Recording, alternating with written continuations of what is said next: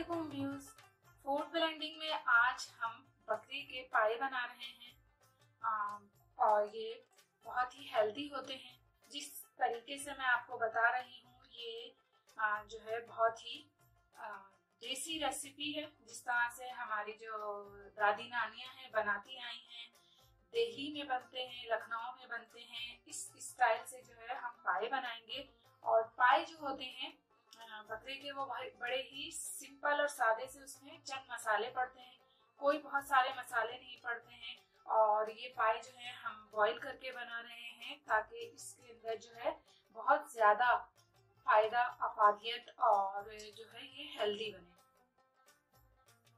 तो इसके लिए जो है हमने यहाँ पर आठ अदद बकरे के पाए लिए थे और इन्हें मैंने जो है तकरीबन साढ़े तीन घंटे जो है ना बॉईल किया है। यानी इतना कि ये गल जाए। और ये मैंने यखनी इसकी कर ली है।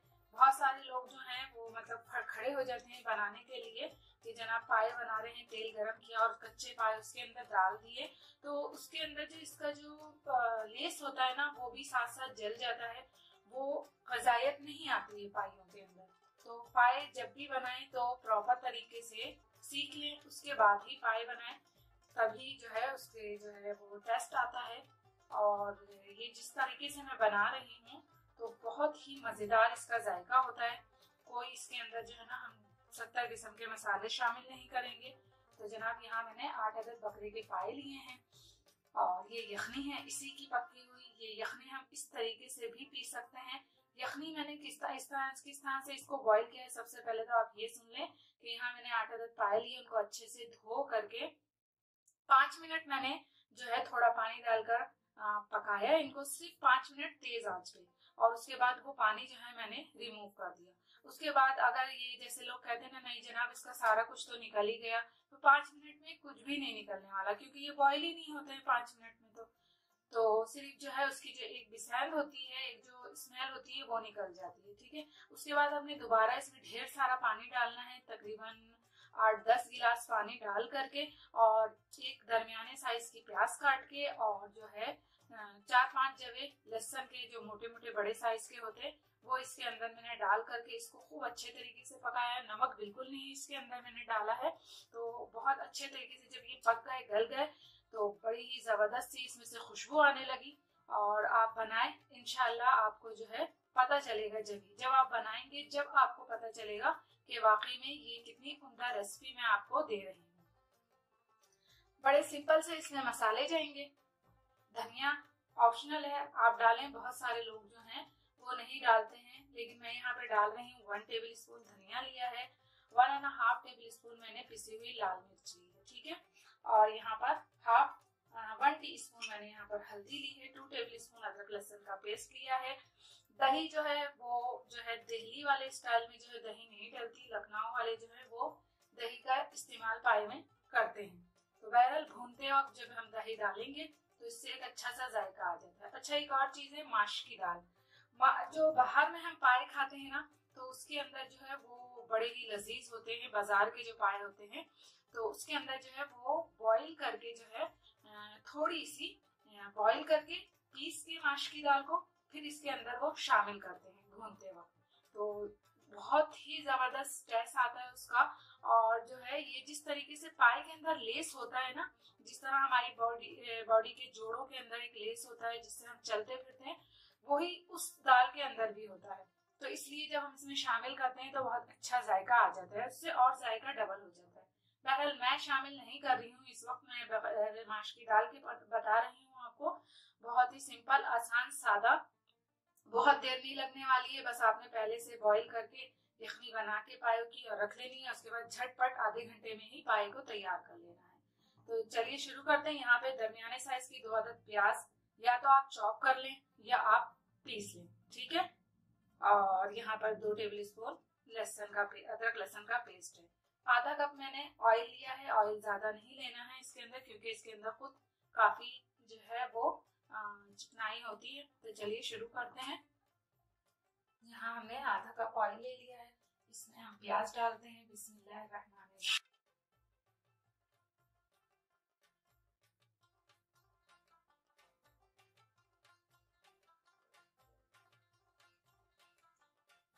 तो जब तक प्याज हमारे पास होती है साथ साथ इसके अंदर हम डाल देते हैं अदरक लहसुन का पेस्ट जो साथ साथ भून जाएगा।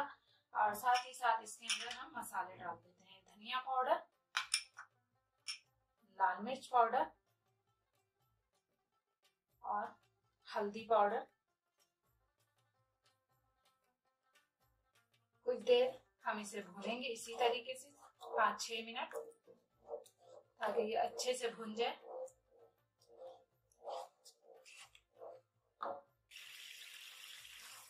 तो ये देखें, यहाँ पर मसाला जो है वो हमारा भून रहा है। तो अब इस स्टेज पर जो है ना, हम इसके अंदर पहले दही शामिल कर देते हैं।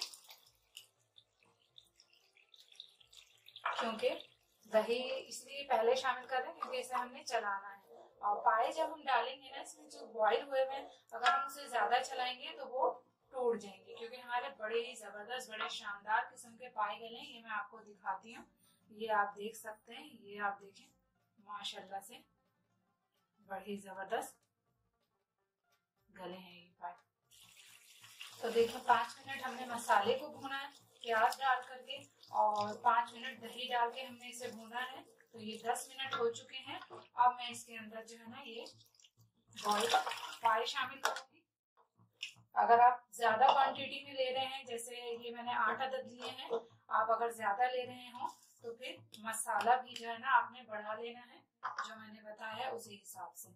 अच्छा अब यहाँ पर जो है ना हम गरम मसाला डाल देते हैं इस तरह से। और नमक शामिल कर देंगे अब इस टाइम पर। ठीक है? और हल्का सा बस इसे हिला देंगे। ज़्यादा नहीं। तो थोड़ी थोड़ी सी जो थी ना, वो पायों में यखनी थी। हमने पकाना था आधा घंटा, इसलिए तो अब मैं इसे कर दूँगी कवर और जब ये दिख तो रहा है हमें, अगर आपका कवर जो है फुल कवर हो तो आपने हटा के देख लेना है। आवाज़ आने लग जाती है भूनने की जो है तो इसलिए जो है ना, अब ये आज जो है वो हमने स्लो करी हुई है। मीडियम हाई नहीं मीडियम हाई से कम है आज। तो चलिए, जैसे ये भुनते हैं तो दिखाते हैं फिर आपको क्या करना है। तो ये देखें, माशाल्लाह से भुन चुका है यहाँ पर। ये देखें जो ऑयल है वो छोड़ दिया है इसने और बड़ी अच्छी से खुशबू आ रही है। अब कुछ नहीं करना है अब हमारे पास जो यखनी है, पाए जो हमने पकाए थे, उसकी जो यखनी है, वो हम इसके अंदर शामिल करेंगे। और ये यखनी आप इस तरीके से भी थोड़ी बहुत पी सकते हैं। बहुत ही फ़ायदेमंद होती है। उन लोगों के जिन्हें जोड़ों का दर्द है, घुटनों में कमर में दर्द होता है तो उनके लिए भी बहुत फ़ायदेमंद होती है बकरी की यखनी तो इसे आप ज़रूर बनाएँ, बस ये देखें, ये हमारे पास बिल्कुल रेडी है, ये बिल्कुल रेडी है। और अब जो है ना, हमें क्या करना है, इसे कवर करके और बिल्कुल जैसे दम देते हैं ना, उसी तरीके से इसे 10 से 15 मिनट जो है ना, हमें इसे दम देने के लिए छोड़ देना है। बहुत सिलो आँच पे ताकि हमारी जो यखनी है, वो इसके साथ जो है फ्लेवर आए, मसालों का पक्के, लेकिन यखनी ज़ाया ना इसलिए बहुत धीमी आँच पे जिस तरह से चावलों को दम लगाते हैं, बिरयानी वगैरह को इस तरीके से। तो दम लग जाए तो फिर मिलते हैं आपसे और दिखाते हैं आपको डिश आउट करके। तो ये देखिए, दम आ चुका है। तकरीबन 15-20 मिनट हमने रखे हैं, बिल्कुल स्लो आँच पे। तो अब मैं आपको डिश आउट करके दिखाती हूँ। तो ये देखिए, माशाल्लाह से हमारे बकरे के पाए, ज़बरदस्त पाए बन के तैयार हैं, बिल्कुल असल रेसिपी के साथ। तो इसे आप ज़रूर ट्राई करें। और जब तक आप ट्राई नहीं करेंगे तो आपको पता नहीं चलेगा कि ये कितने मज़ेदार बनते